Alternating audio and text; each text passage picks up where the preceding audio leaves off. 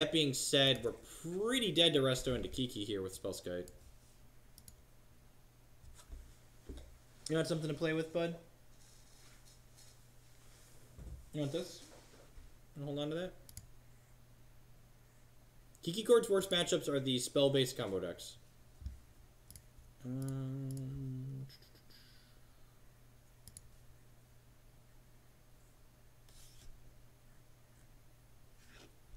Snap leak, yeah.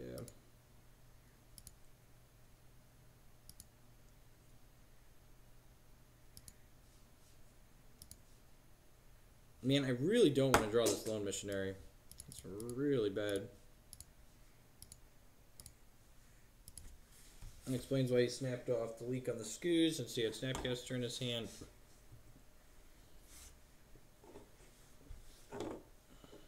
Uh, dramatic entrance leaves the creature in play. Through the breach sacrifices at end step. It gives it haste, but it sacrifices at end step. So dramatic entrance leaves it in play. I've never considered that as a card for modern, so that could be neat. All right, definitely drawn that. Uh, no, I don't think I want to shock myself for that. Let's gain some life here. Uh, I'm going to ship with Courser, because if he blocks with Spellskite, I'm going to Helix it.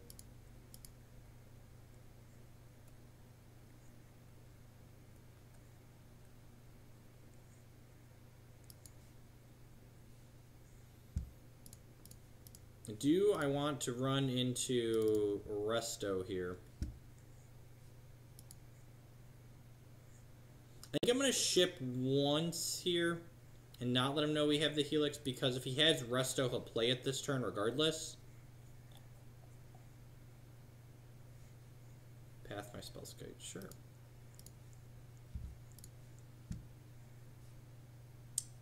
That's not awful. Oh, that that was a mistake. I should have Helix his Spellskite after he cast the Path. So that was, I, I was kind of clicking too quickly there and wasn't uh, thinking about what I wanted to be doing. So that's unfortunate, because I wanted him to counter this if possible, so that way we could play Fulminator and kill this Hallowed Fountain on his turn.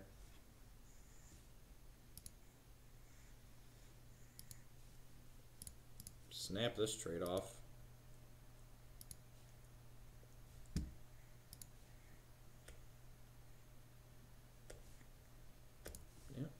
Great. I'm going to shock myself for this so that way I can play Fulminator plus. Uh, I'm going to start by attacking with Courser here.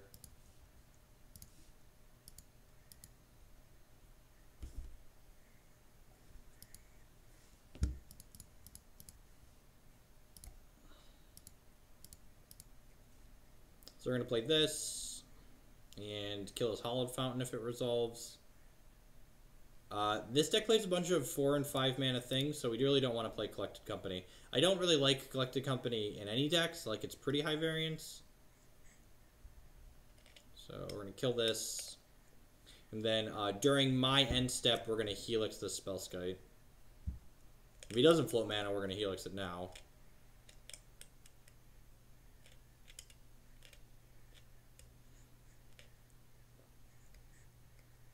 Floating blue? Sure.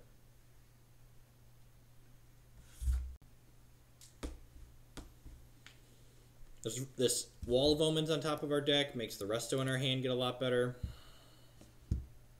Ghost quartering himself. Sure, man.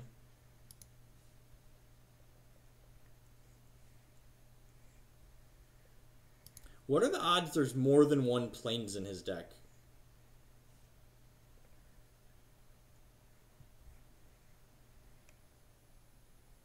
What are what are I don't think there's a very likely chance that he has more than one Plains in his deck. So uh, I'm okay. So we're gonna move to end step here. I'm gonna helix his spell Spellskite, and I think I'm gonna ghost quarter this Plains. I'm pretty sure that's what I want to do with my life. I think he's likely not to have another one. If he paths us here, I'm not going to search because uh, I want this Wall of Omens. He might like Helix me in response, like gain some life. That would be great for us.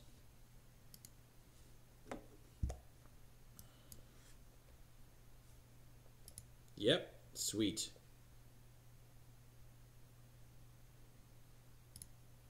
It's like double killing my Spellskite? Fine. I guess I should have done this during his upkeep to prevent what he just did. So that was a small mistake on my part.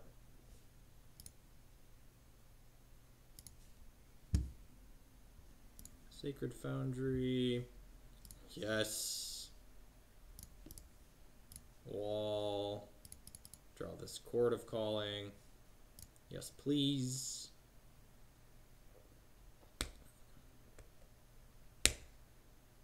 So, what do I want to chord for here? I think I'm just passing since we can't attack in.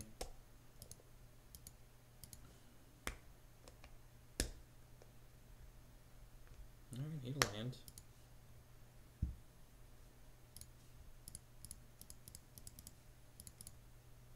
Play Resto and step here.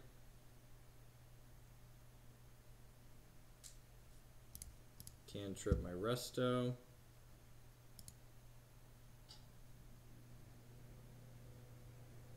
Oh, my child fell asleep.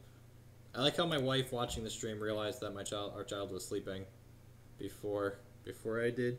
He's such a tired little nugget boy. You're pathing. This is so good.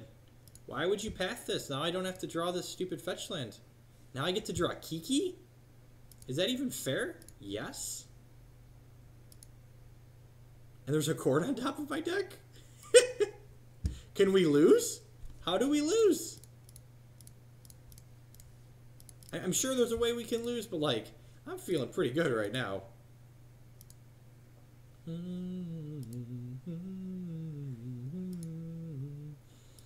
Alright, so we're moved to end step. We're gonna kiki my I guess I don't need to kiki my we're gonna kiki wall of omens during his upkeep. I guess we'll wait till his end step. Oh, he's only got one card in his hand? I'm sure there's a way we can lose this game, but I'm I'm not certain of it. Is it involves wrath here? You're just like dead. You're dead to yeah, sure, man. So GG.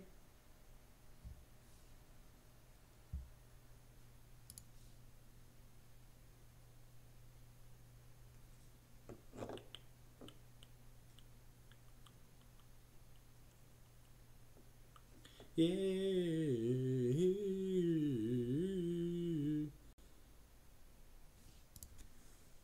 So we got him.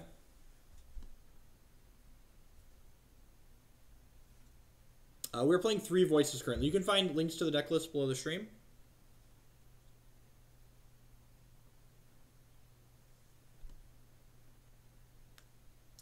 Nah, I mean, our opponent's dead. He, he said GG's in chat. He's probably writing something. Appreciate all the new follows, folks. Looks like there's a few more. See Pikachu running in the background.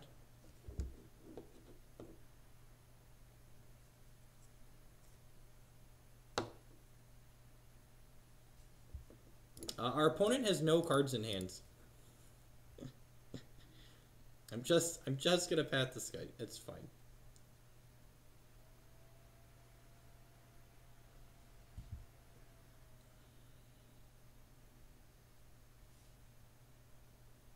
What are the best sideboard cards against Kiki Chord? The singular best card is probably Grafdigger's Cage because it turns the cords off. But like the deck's still like a reasonable deck full of magic, a deck full of reasonable magic cards without Chord of Calling. So like unless they just draw all of their cords, you're still you're still pretty screwed. Kiki my Wall of Omens. Draw a card. He's not going to concede I'm going to play all my value stuff or draw all these magic cards. Look at all these magic cards we're drawing. It's so good. Alright, chord for one, two, three, four.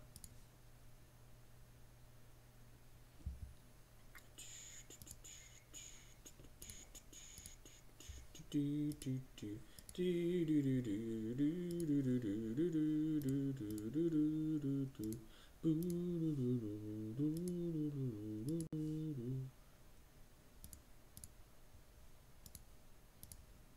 Is Torpor Orb? Yeah, Torpor Orb probably fine. The, okay, so, so the problem with Torpor Orb is you just chord for Qasali Pridemage and kill the Torpor Orb. So that's why Grafdigger's Cage turns off the cords, which is nice.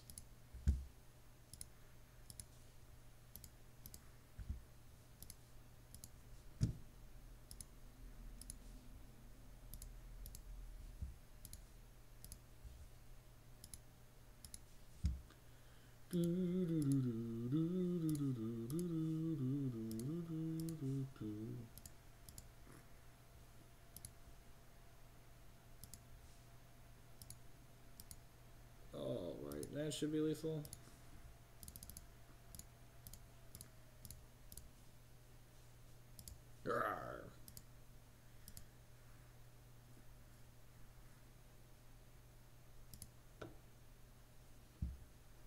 I mean, so like, so people always say like timing out's legitimate strategy, and you'll hear me saying that timing out is legitimate strategy because it is. But like in the context of this game, it made no sense for him to try and time me out. Um, this is game three. Uh, he has ten minutes on his clock. I have three minutes more on my clock. The only time you'll ever see me try and time someone out is if their clock is lower than mine and we aren't in the last game all he's doing is wasting all of our time and his time. Like he's streaming too, so like he's just wasting everyone's watching his stream time as well. So like trying to time someone out only makes sense if them timing out is a reasonable possibility, which in this case it wasn't a reasonable possibility for us.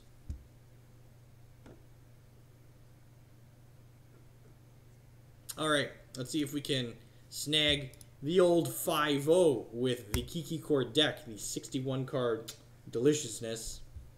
instantly paired. Why would you try and make someone time out? Um, because we're playing for prizes. It's just like why why would you play for a draw in you know like you don't have to concede just because you're going to draw in paper magic. Um, you can win matches of paper magic 101. Like the clock is part of the game. The clock affects the game differently on Magic Online than it does in paper, but the clock is very much part of the game.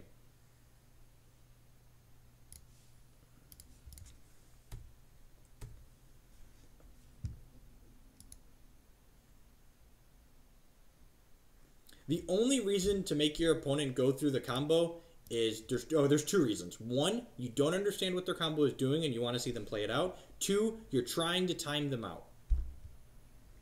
I guess three, or you're not paying attention. Like that that could be a reason too, I suppose. But man, turn two voice against steam vents, usually delicious.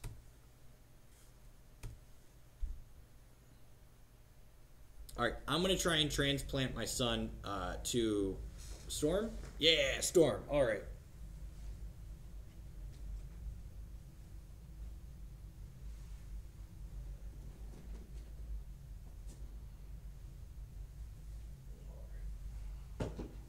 So main deck Eidolon. So we're we're getting to a chord as fast as we can.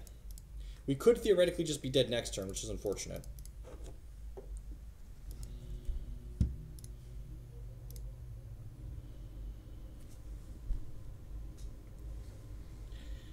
I suppose this is supposed to get a stomping ground in case uh, we draw the Kiki Jiki naturally.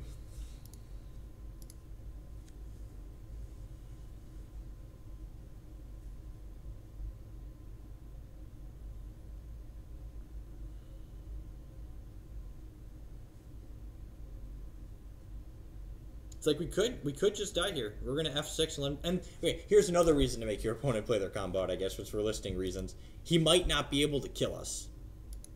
So, you know. But like the twin combo or resto combo, like, you know, obviously you're going to die to that. So yeah, so he's playing his second ritual, so I assume we lose the game here.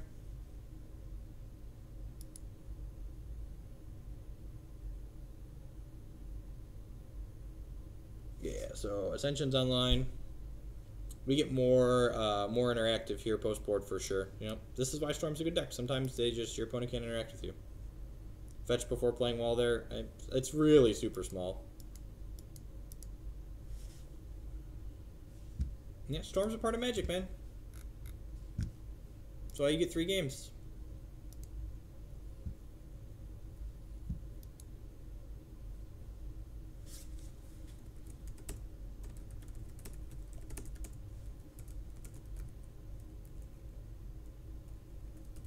Watch him do his thing.